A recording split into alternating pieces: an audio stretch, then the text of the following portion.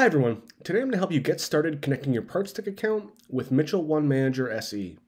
PartsTech makes it fast and easy to see parts from all of your vendors in one quick lookup. You'll see wholesale pricing and live inventory at your local stores and beyond. Step 1 is to create your account if you don't already have one. Once you have a PartsTech account, the next step is to connect that PartsTech account to Mitchell. Once you're integrated, step 3 is to add your suppliers and get yourself familiar with the PartsTech system. So let's get started. PartsTech puts all of your vendors in one lookup. A PartsTech account connects you to over 30,000 parts stores, tire vendors, and OE dealerships across the country. You could use your wholesale account and see wholesale pricing and live local inventory at your stores, and it's backed by the most up to date catalog in the industry, so you'll always have the latest product and fitment information directly from the manufacturer. You can get started with PartsTech for free by going to partstech.com and clicking Sign Up. We'll ask you some basic information about your shop and who you buy from. Once configured, you can plug your credentials into Mitchell One and start ordering parts, tires, and OE parts with this PartsTech button at the bottom of the screen.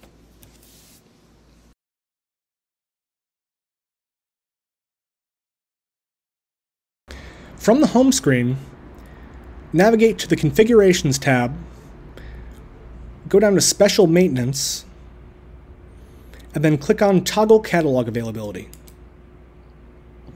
From here, be sure to turn the PartsTech catalog on and click Save. Now go back to the Configurations tab and click on the Vendor Setup button. From here, you're going to want to add a new vendor, enter a code, and a name, and then click this Setup Link button. Click on the Setup PartsTech Catalog button, and click OK. And now you'll be opening up a window that'll give you the opportunity to sign up for a PartsTech account if you don't already have one, or if you already have a PartsTech account, you're going to want to enter your username here and then your API key. If you're not sure what your API key is and you need help, you can click this link. If you're logged in, it'll automatically pull up your account information. So here's where I'll enter my username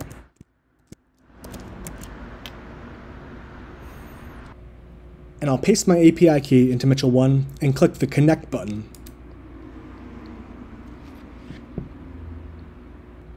Once this is set up, I'm going to click OK, and then click OK again, and that's it. If you're creating an account for the first time, you may need to configure and add your suppliers, but once those integrations are approved, you'll have all those in one place. So I'll show you if you go to the Quotes button now, you'll see this PartsTech button along with your other integrations down at the bottom of the screen. You can add parts from PartsTech by clicking here, and that will punch out to PartsTech so that you can find the parts you need for that work order. Finding parts on PartsTech is easy. You can see we already brought the vehicle in from Mitchell 1, and now I'm going to look at an air filter. So I just type in the first couple letters what I'm looking for, and select the part type from the dropdown. Now PartsTech will search all of my vendors at once and it will show me results in my area for that air filter. I could tab through, I could see what I want, I can click to see more product details and any interchanges, or I could add those products to the cart. I could change quantity here, but I just need one. So I can see the cart appears here. I can go back and say we need a vehicle battery.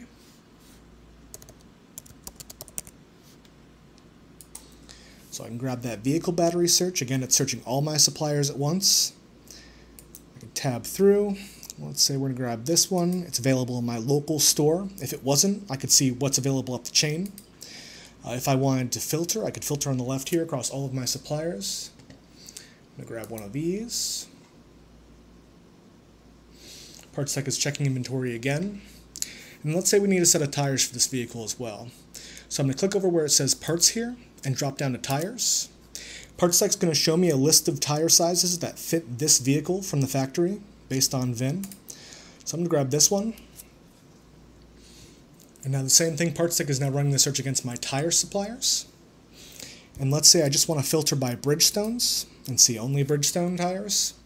Here I can filter, and then it filters across all of my suppliers at once. So let's say I want to grab these. The quantity is pre-filled at 4. I could see any available rebate information. But let's add these to the cart and bring these products back in to the work order in Mitchell 1. To do that, I hit submit quote, and that quote will be pulled back into the work order in Mitchell. Once back into Mitchell, PartsTech will ask you if you want to add any core charges from any parts associated with your order to that repair order. PartsTech will also display any necessary tire information like uniform tire grade or mileage warranty as a note field in Mitchell. And then when it's time to actually check inventory and place those orders, you can go to the parts ordering button, run a price check,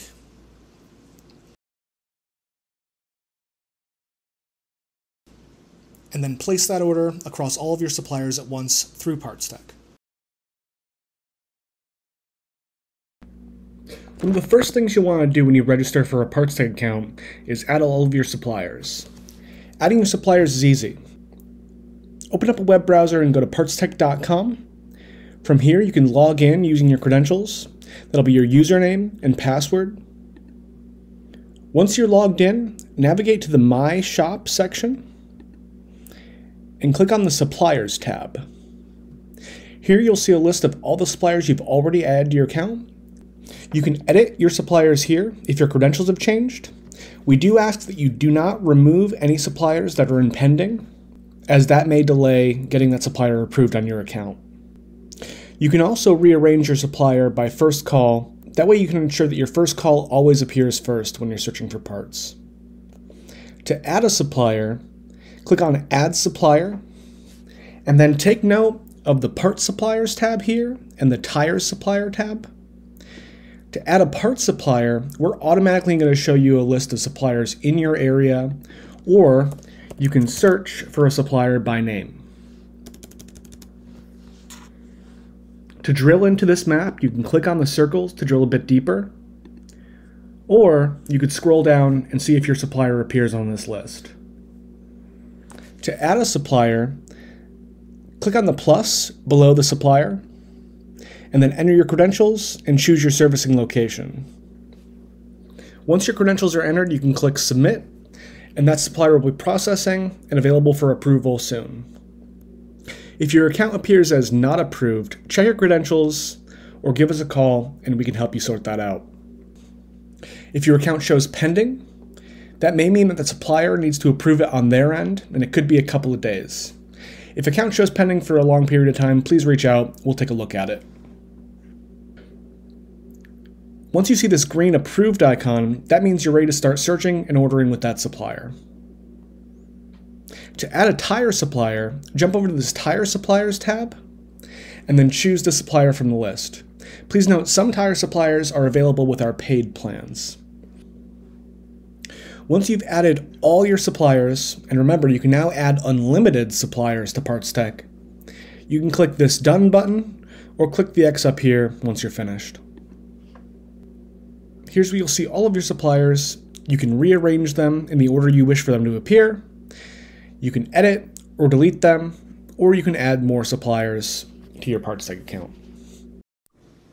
We hope that gave you enough to get started with this early build of our Mitchell 1 integration. If you have any questions, please don't hesitate to reach out to our support team at 866 308 5193 extension 1 or by emailing support at partstech.com. Thank you.